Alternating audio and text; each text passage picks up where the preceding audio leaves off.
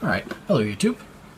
Gadget Boy here again. Uh, we're just going to do a quick kit build here. Um, it's been a while since I've done a video, so I'm going to get this going.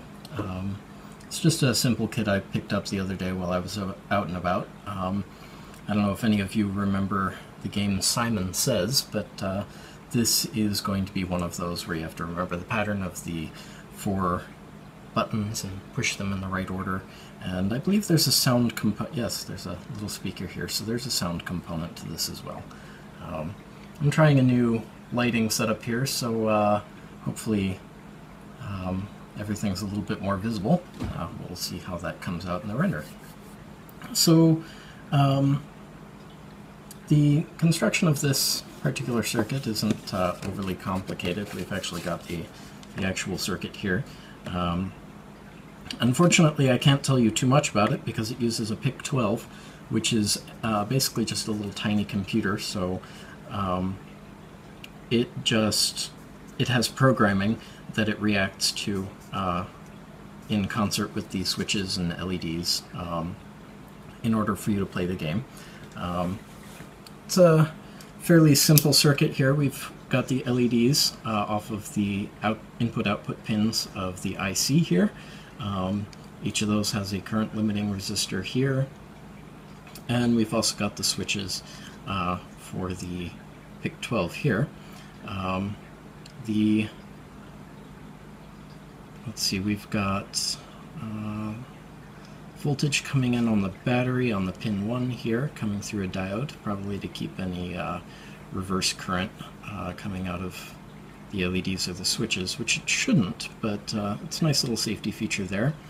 Um, off of pin 2, it looks like we've got a little transistor here acting as an amplifier for a speaker um, with a, another uh, diode to prevent reverse flow current across the speaker and a little uh, current limiting resistor on the speaker um, and a very large current limiting resistor on the, uh, the transistor there.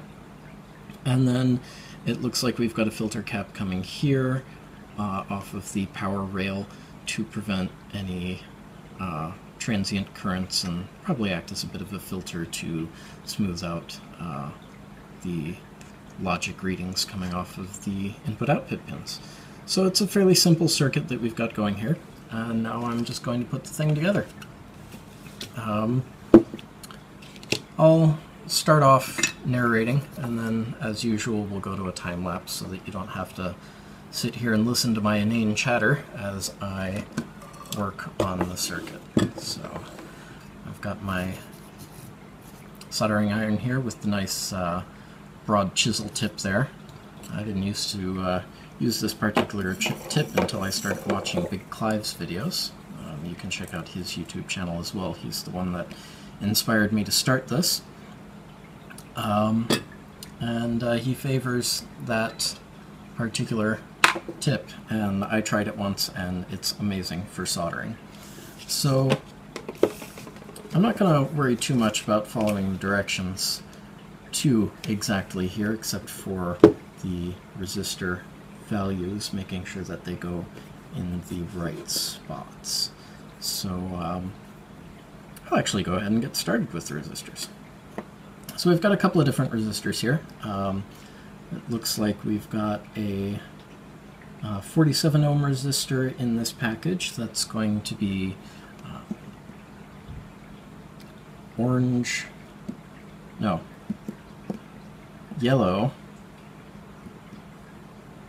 violet, gold. Uh, as I, you may recall from a previous video, uh, let me grab a piece of scrap paper here so I can just go over this again real quick. Um, we've got our resistor color codes. Um, my mnemonic is somewhat ribald, but uh, it's one I got taught when I was very young and it's uh, stayed stuck in my head for that entire time. So we've got uh, bad boys rape our young girls, but Violet gives willingly. And those are the various different colors. So you've got uh, black, brown, red, orange, yellow, green, blue, violet, gray, and white. And each of these corresponds to a number, starting with 0 and going all the way up to 9.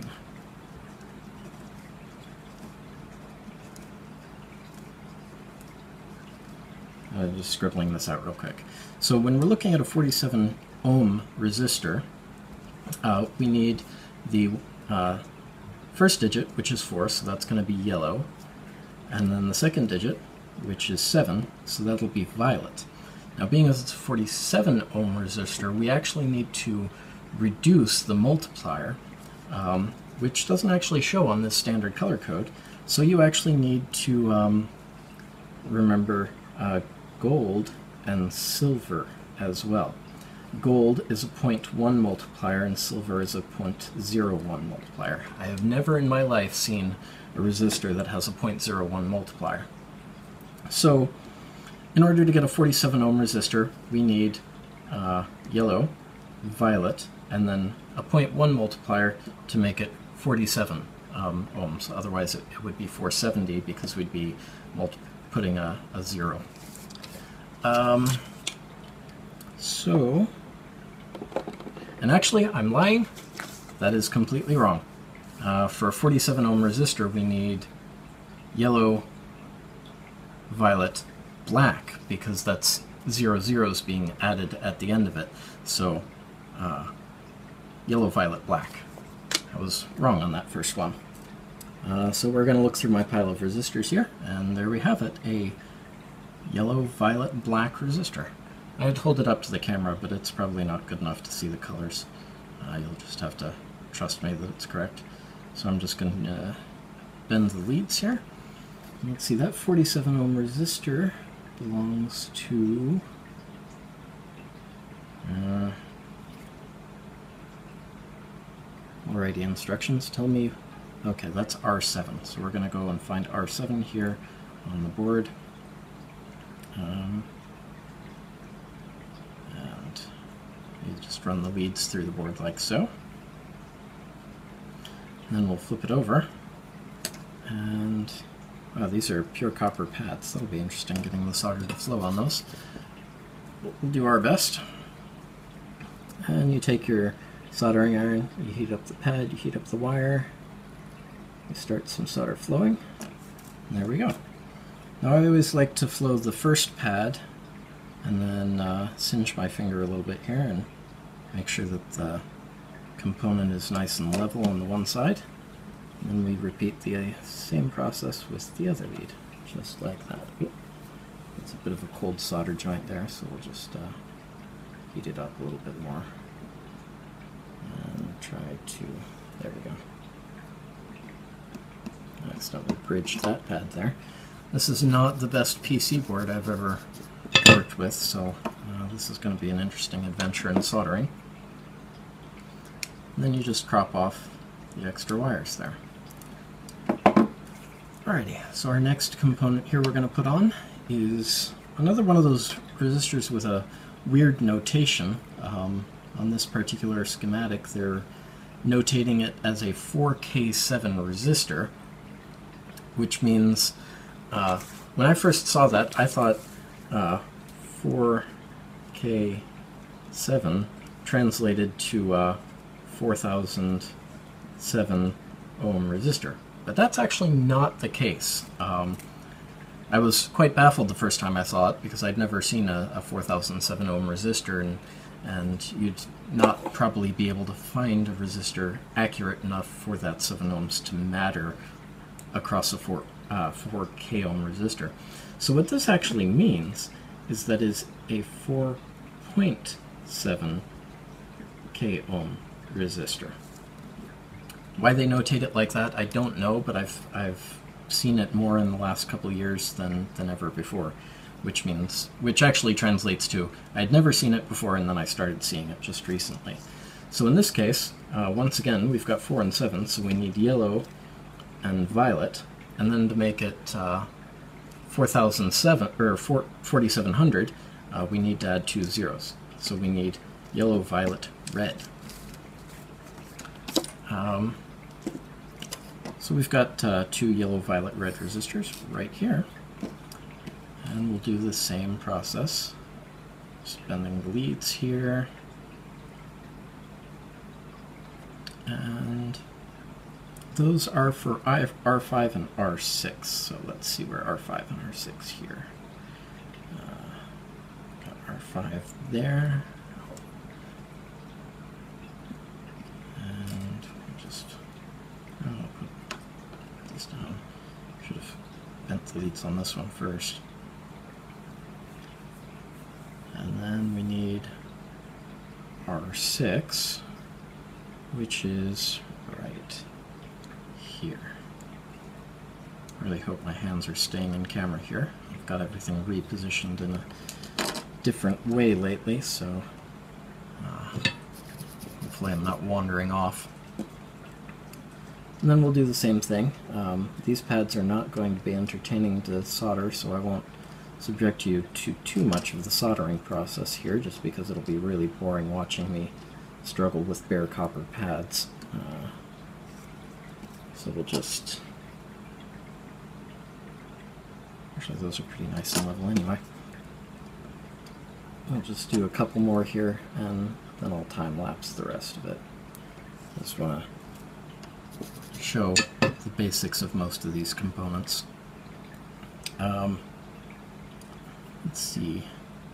Oh, actually, I'm going to skip over to the diodes. We're, we're going to skip to a different part of the schematic here, uh, just so we can talk really quickly about uh, basic diode theory and uh, the two different diodes we have for the circuits. So they sent me two diodes here.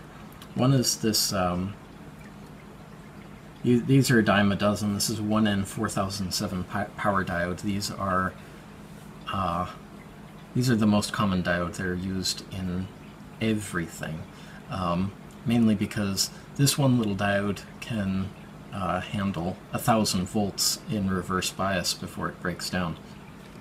Now we'll talk a little bit here about uh, a diode and what that mysterious phrase I just said, reverse bias, means. Um, the point to a diode is that it only allows electricity to flow in one direction. Now the symbol for that diode looks like this. You got an arrow, point or a little triangle pointing at a line, and the polarity is positive on this side and negative on that side. Now, without getting too deeply into the science, I'll probably do another video on the science of diodes, um, but this diode will not prevent current, will not allow current flow. Um, well, we'll talk conventional current flow for now. Uh, we'll get into electron current flow later, but this diode will not allow current flow in that direction. It will act as a short circuit. Um, to a certain point, um, diodes have a rating called the peak inverse repetitive voltage, uh, which is how much voltage you can apply in a reverse bias, which means in the incorrect direction, before the diode gives up on life and either starts conducting or just lets out a curl of smoke, smells bad, and then stops working entirely forever. Um, so they're used to prevent small currents from going in the wrong direction. Um, and these uh, 1N4007s are super cheap and they can handle a great deal of, of voltage in the reverse bias.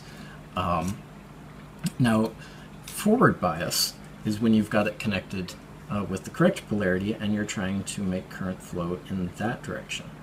Now, the diode is perfectly happy to do that after it eats 0.7 volts, at least a silicon diode like this one. Um, so you give it 0.7 volts, the doors open, and voltage begins to flow. Uh, and that way you can control voltage going in the correct direction. Um, now this little guy here, this is a germanium diode, this little tiny glass uh, I'm not too sure if you can see it on camera, but it's also slightly amber. Um, that's a germanium diode. Now, this has all of the same characteristics as a silicon diode, or a silicon diode, sorry. Uh, silicone and silicon are two entirely different subjects. Uh, this does the same thing as a silicon diode, and only it has a voltage drop of 0.3 volts, so it takes less voltage to actually open the doors and allow current through it. However, uh, they also have a much lower peak inverse repetitive voltage, so if you connect them in the wrong direction, they're easier to destroy. And they are less tolerant of heat, whereas a silicon diode, you can they can get fairly hot before they stop working. A germanium diode will stop working a lot sooner. Um, germanium diodes are best used in situations where um, there isn't a great deal of current or voltage flow. Uh, quite often you'll see them used in radios and um, audio devices in the preamp side uh, for, for some of the more sensitive voltage handling. So we'll just uh, quickly throw these ones on the board. Now, let's see our germanium diode here. I probably should have looked up the specs on that one just uh, for reference sake, but uh, we'll skip that for now.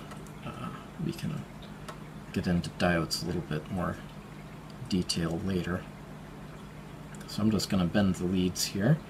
And this diode needs to go in D1, which is right over here. And I did not crop those, or I did not bend those leads nearly tight enough. Uh, it's a very small component, so it's uh, sometimes you have to kind of guess uh, how the, the leads are going to line up. Let's uh, fold that up a little bit more. There we go. So the important thing, as we were discussing earlier with forward and reverse bias, is to make sure that the diode polarity is correct. Now, you can tell the polarity of a diode by a stripe or a bevel on the diode. And in this case, they have a stripe, so you're going to look for that black bar on the end of the diode uh, uh with the germanium one, or the white bar here on the end of the silicon diode. Silicon diode. I'm going to be constantly correcting myself on that. And uh, thankfully, they've got the polarity marked here on the board with the stripe. So we're just going to tuck that right in there. Um, now, germanium diodes are a little bit sensitive to heat, so I'm going to solder this one a little, a little bit proud on the board so that the heat from the soldering iron doesn't get too close, doesn't affect it too badly. Um, I don't want to kill this little project before it even gets started. Uh, there we go. That's good. And we'll just uh, quickly solder the other side here. And I'll show you here. I just uh, let it sit a little, little higher on the board than, uh, than the other components just to keep it away from the heat of the soldering iron. And then we'll just crop off the leads, just like that. Then we'll quick, quickly throw on the uh, power diode here. It's going to go in diode 2, that's right there. And again, observing the polarity, we've got the stripe on the board there. So we're going to put the stripe with the diode, just like that. I don't need to mount this one proud, uh, any proud at all. In fact, the leads on these um, 1N4007s, ooh, that's a little toasty. Uh, the leads on these 1N4007s are fairly thick, so they can actually sometimes, on certain boards, be a little challenging to uh, solder because... Oh, my soldering iron is way too warm. Let's turn that down a little bit. Um, leads are so thick they absorb a, a bunch of uh, thermal energy and it's harder to melt the solder. Alrighty, so that's about all of the interesting components here. Um, we'll quickly throw one of the LEDs on and we'll talk briefly about this little transistor here. So this transistor is being used for uh, the audio portion of the circuit, if I'm not mistaken. Yes. Um, so it's being used as an amplifier. Uh, you can use a transistor in, in a number of different ways, and, and I will talk about these in more detail in, in another video because they're uh, rather quite complicated and uh, involved to explain, but they basically act as a gateway for electricity. Um, kind of like a diode, only you can control when the door opens uh, using this third pin. So I'll just give you a quick, quick and dirty explanation of a transistor. We've got the symbol looks kind of like this. This is a little bit messy. And then we've got an arrow. And the three pins of this device are the emitter, the collector, and the base. So we've got the emitter here, the collector here, and the base here. Now what happens is um, where you want the current flow to be controlled, you apply um, that part of the circuit on the collector and the emitter. Then you send basically a trigger signal to the base. Now, in general, the door between the collector and the emitter is closed until the base receives a voltage. When the base receives a voltage, that door opens up and current begins to flow from the collector and the emitter. Um, so it's kind of an electronic switch, and that's actually how a lot of transistors um, are used. Uh, in your cell phones and your computers, the, the CPUs on those devices use trillions of uh, transistors all acting as switches to control the data flow uh, through them. But we'll go into greater detail about transistors in a later video. For now, I'm just going to bend these leads so that I can get them onto this uh, PC board here. Um, transistors are another one of those devices that's a little bit sensitive to heat, so this one as well I'm going to mount a little proud on the board uh, so that I don't accidentally kill it with my soldering iron, because I have done that in the past. Um, now thankfully they've got the shape of the transistor here, you see it's sort of a half moon, so we're going to mount it on the board in the same direction. Uh, sometimes the uh, PC boards will just have a notation for the emitter and the collector and the base. So uh, in those situations you'll want to check the data sheets to make sure that you get the, the pins mounted in the correct locations. So we're just going to solder this really fast. We don't want to heat these leads up any more than we have to. Uh, because even more so than that germanium diode, uh, this transistor will die if it gets too warm. Yeah, that's nice and cool, so I didn't get too much heat in it. So we'll just uh, crop those leads off. And then we'll just uh, do one of the LEDs really quickly. Um, LEDs are another type of diode. It stands for light emitting diode.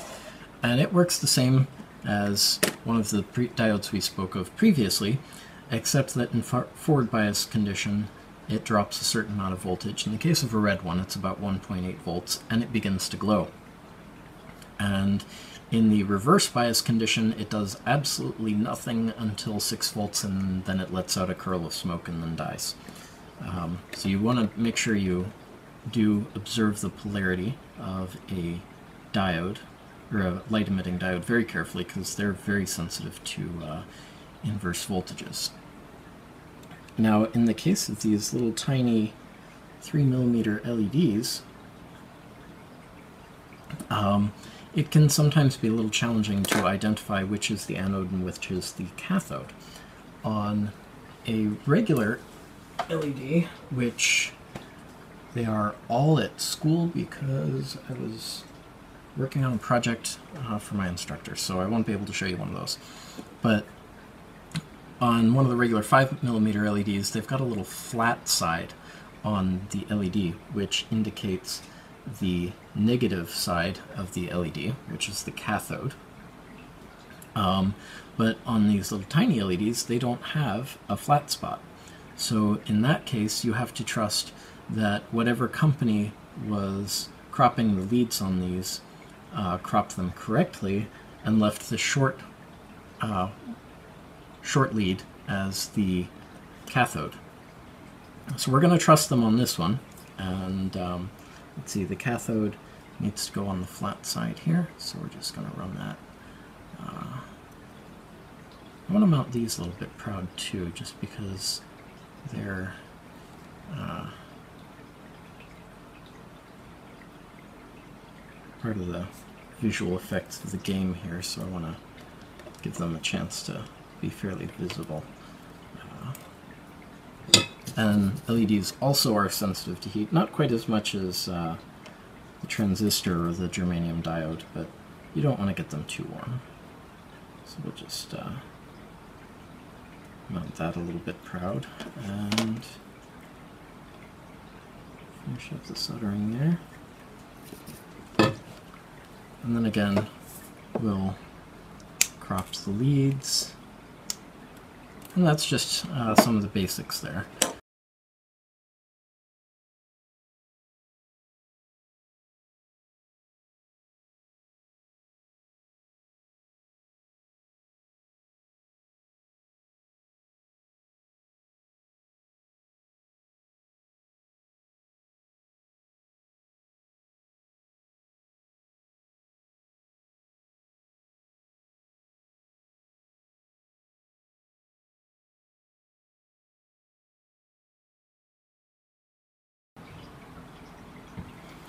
Alright, and we're back because I hadn't realized from the instructions initially, but there's actually kind of a weird thing I have to do uh, to finish um, building this thing.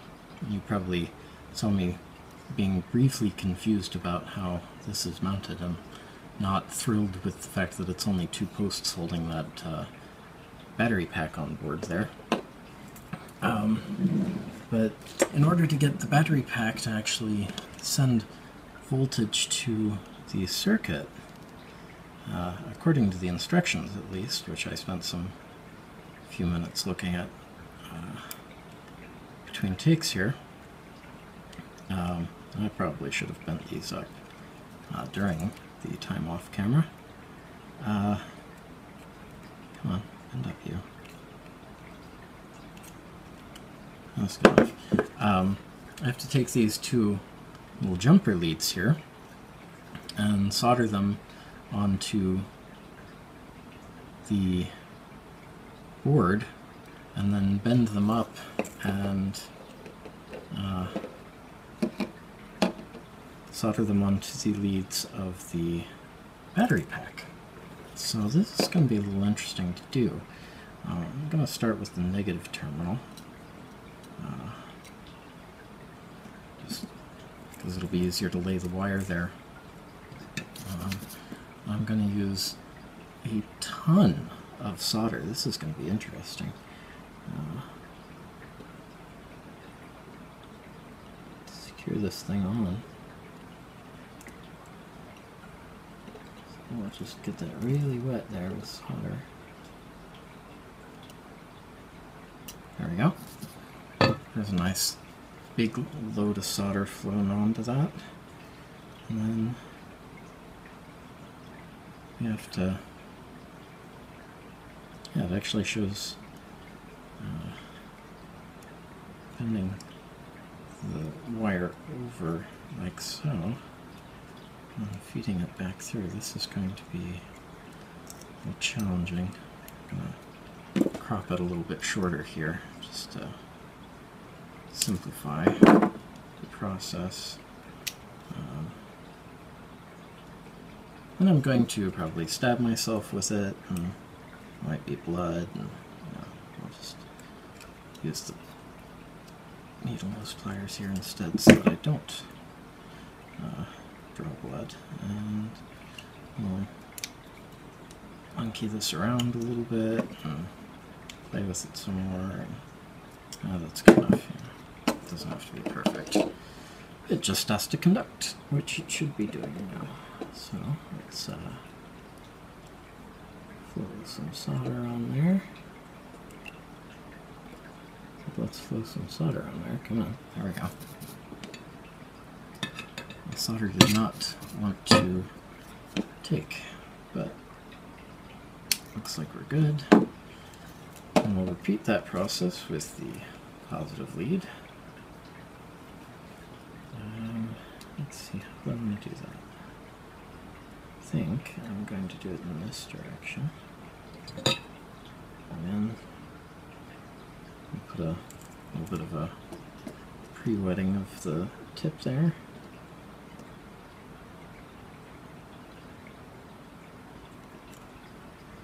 A bunch on.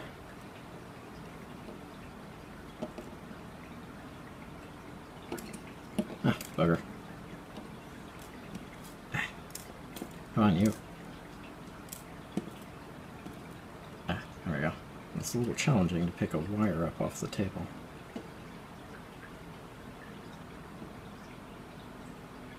Alright, so there's that. And we'll repeat the process, bending this up. Turning it down a little bit. Bring it over.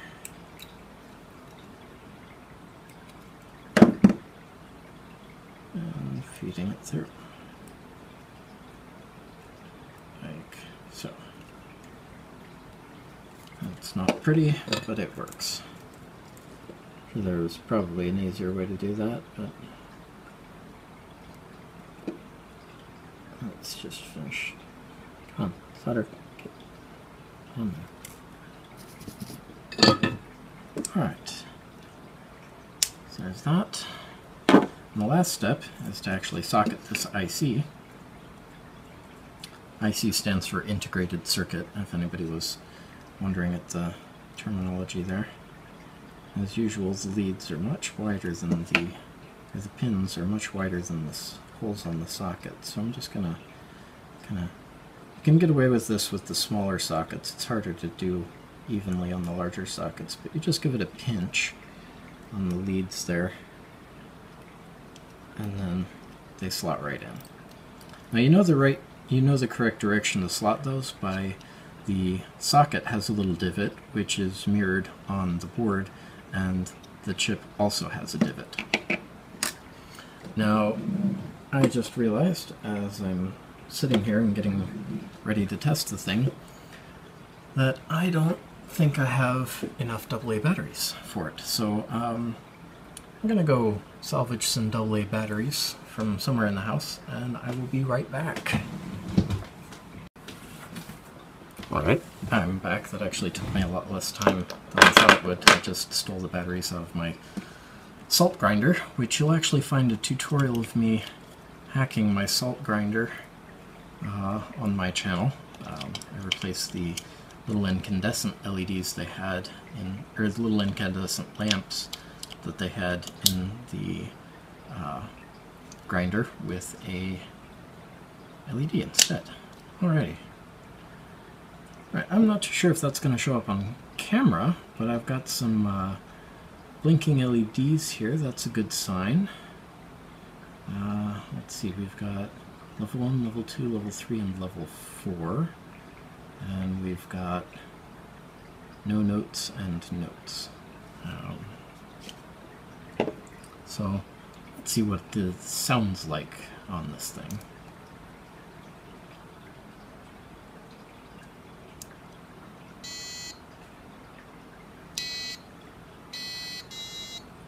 Oh, this is just lovely.